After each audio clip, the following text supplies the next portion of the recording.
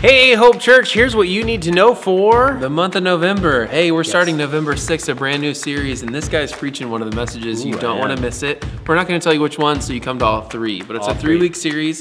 What's it on, Mark? It's on surrender. So, specifically in the areas of, of doubt and fear and anxiety. So, things that we all deal with, that we all wrestle with.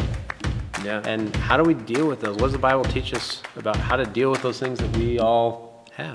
Yeah, what steps we can take to further our journey and following Jesus in Him. So please join us at all three. We'd love to see all of our church family there. Yeah. Uh, bring your friends. You. And bring your friends. Bring yeah, your friends. Seriously, because I know that you you've never met a person that's not dealt with any of these things. Right. And so it, this is this series is for everybody. So we'd love to see you there. We can't wait.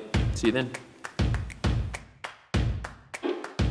Church. My name is Kelsey, and this is my brother Kyle. Hi. We are so excited about the Night to Shine event that Hope Church is hosting at the Grand River Center just a few short months away. Are you excited, Kyle? I'm really super excited. That is awesome. What are you most looking forward to about Night to Shine?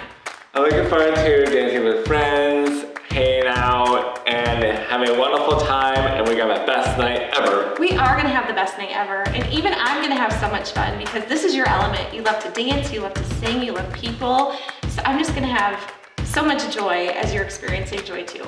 It's gonna be a wonderful time. Yes, it is. Yes, it is. So we would love to invite 250 people to attend this event. And those people each need a buddy, which means we need 250 of you to volunteer by November 15th. That's a lot of guests and big buddies and, and lots of people. It is, but it's gonna be such a fun party. Yes, it is. Yes. So remember, sign up by November 15th. You can do so by going to www.ehope.org slash NTS. Again, that's ehope.org slash NTS for Night to Shine.